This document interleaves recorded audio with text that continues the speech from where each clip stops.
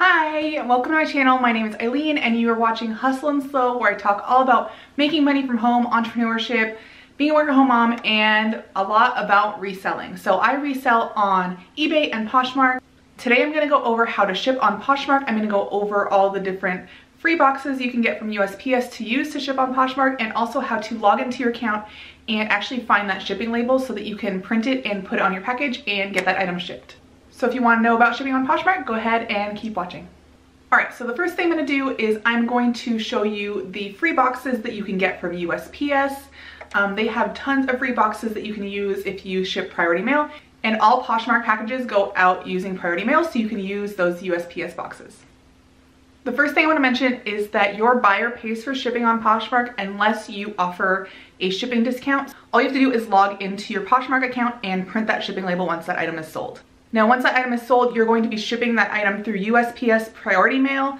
Um, you're just gonna print the label and put it on a package. You can either use any package packaging of your choice, any boxes or envelopes that aren't specified for a different carrier or a different type of shipping.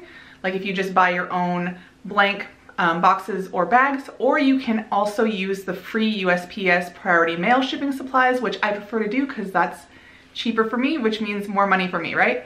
So I'm going to show you the different supplies. I'm not gonna show you everything that's available because there are so many different boxes that they offer, but I'm going to show you the ones that I use most often. All right, so there are several different kinds of envelopes, and I do wanna start by saying that I prefer to use cardboard and paper because in my mind that's more eco-friendly than anything plastic. Um, so while I love the bubble envelope when I'm shipping on eBay because it's cheap and it kind of protects the item a little bit, I don't love using it for Poshmark if I don't need to, so I try not to use that. Um, the other options are the Tyvek envelope, which I also love for shipping on eBay because it's really lightweight. Um, but on Poshmark, it doesn't matter because um, unless you're selling something heavy or a lot of stuff that ends up being heavy because your label only goes up to five pounds. If your item weighs or your package weighs more than five pounds, you need to buy additional shipping through Poshmark, which I will also show you um, in a little bit as well. So this is great if you're trying to reduce that shipping, like maybe if you're at five pounds and one ounce, see if you can throw it in this. Um, if you have it in a box and you can throw it in this, it might save you some weight. Um, but the other two envelopes are the flat rate envelope and the legal flat rate envelope. They're basically the same thing. One's just a little bit longer than the other. Um, and these are both made of cardboard and we use these once in a while for like um, either jeans or tops and stuff that kind of will kind of stay nicely in this because it is cardboard. Um, I don't feel like you should put anything in here that um, might bust through the cardboard or anything like that. So these are gonna be easier than boxes to put in um, like your mailbox or for your carrier to pick up. So um, this might be better. You can also use your own poly mailers if you'd like to. Those are also plastic, um, but you can use these if you like. Now this box is the small flat rate box. I think that you can also buy it without saying flat rate, but on Poshmark you can use flat rate envelopes. Um, they do have a deal with USPS where you can use the flat rate items even if you're not shipping flat rate. So that's something to keep in mind. So this is a the small flat rate box and it is kind of tricky to get to fold up because you kind of have to fold it around the item um, like this. And then you like use this adhesive strip and you pull it and you tape it down. Um, I like to use these when I can, but I do put an extra piece of tape because I feel like it doesn't stick perfectly well.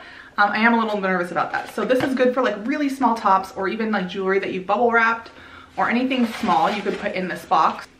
And then the two boxes, the two larger boxes that I use the most are the shoe box um, and the medium flat rate box. So I'm gonna show you the shoe box first.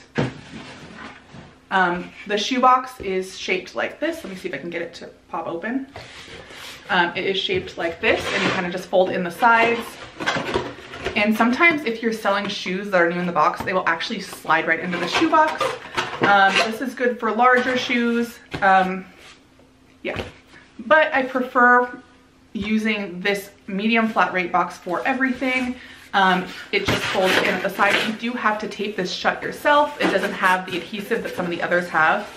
already, but the reason I like it is because it is bigger. So if you're selling, sending something that is a little bit bigger, um, you can put it in here. If you're selling like a bundle, then you can put it in here as well. But also if you are selling shoes, it looks nicer in this kind of like laid out like it's in a regular shoebox than it would kind of jumbled around in that longer shoebox. So it really just depends on the item you're selling, um, what you want to use. So kind of just go with your preference. You'll kind of figure out what works for you. But these are the free supplies from USPS that I prefer to use.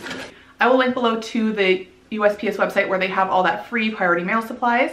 Um, but now I'm going to head over the computer and show you my screen and walk you through um, finding your Poshmark label and printing it, as well as some of the settings that you can work on and how to buy extra shipping if your item is more than five pounds. All right, so we are in Poshmark and you made a sale. So the first thing you want to do is print that shipping label. So you're going to go up here to your little face and you're going to go to My Sales. Once you're there, you can find the item that has sold. You can see this says order status sold. This one down here says shipped and this one says delivered. So these have all already been shipped. Um, so we're gonna click on this item. And then you're going to see all the information about your um, sale that you made. And down here at the bottom, you're gonna see download shipping label. So you're gonna click that and it is going, you're gonna click download. Um, you can also find the label in your email, but I find it easier if I have several packages to ship out to just do it through Poshmark and you click download and it will download for you as a PDF. So I'm gonna click that so you can see what that looks like. And this is what it looks like because I print with a label printer, so it's a four by six label. But I will show you how to do it if you're just printing on plain paper or on um, one of those two labels per sheet pieces of paper that are the size of a normal sheet of paper. One other thing I want to show you is if your item or your bundle of items is over five pounds, you will need to purchase more or a heavier label. So you're going to click over here where it says new shipping label and you're going to click need heavier weight label. And then from there, it's going to say your prepaid label supports up to five pounds. If you have an overweight package, you have to pay for an extra fee and then you just select the weight that you need here. Um, so you can see that's exactly how you do that if you need a heavier label. So just keep that in mind when you're doing bundles or selling items that are heavier that you are going to have to pay a little bit more to ship those items. Now if you want to change those settings um, for your shipping labels, just go to account settings. And if you scroll down, you're going to see shipping label settings. And it's very simple. If you're going to be printing on 8.5 by 11 paper, you select this one um, and confirm, and you leave it like that, and I will show you what that looks like as well. So we're going to sales, we're going to click on the sale, and then we're going to click download shipping label, click download, and this is our label. And it's going to print it right in the middle of the sheet. Um, so if you have a piece of paper, that's fine. But if you have um, one of those two page or two labels per page sheets, or if you want to just be a little bit more eco-friendly with your um, printing, then here's a trick for you. All right, so what you're gonna do is um, you can see that the label is going past that halfway point, so you cannot fit two labels on one sheet. Um, so what you can do is you can go to scale, and yours is gonna probably look a little bit different, but somewhere there should be a place where you can change the scale or the size and you can go to custom and you can change it and usually about 70 or 80%, 70% looks a little too small. So probably about 80% um, will make it so that only prints on half of the sheet so you have the other half available. Another option would be to um, screenshot it and put it into a document like a pages or a Word document and then print it that way so that it only prints on one side. All right, so that's everything I have to tell you about shipping on Poshmark. Hopefully this is making it a little bit easier for you to figure out um, how to get your items shipped when they sell on Poshmark.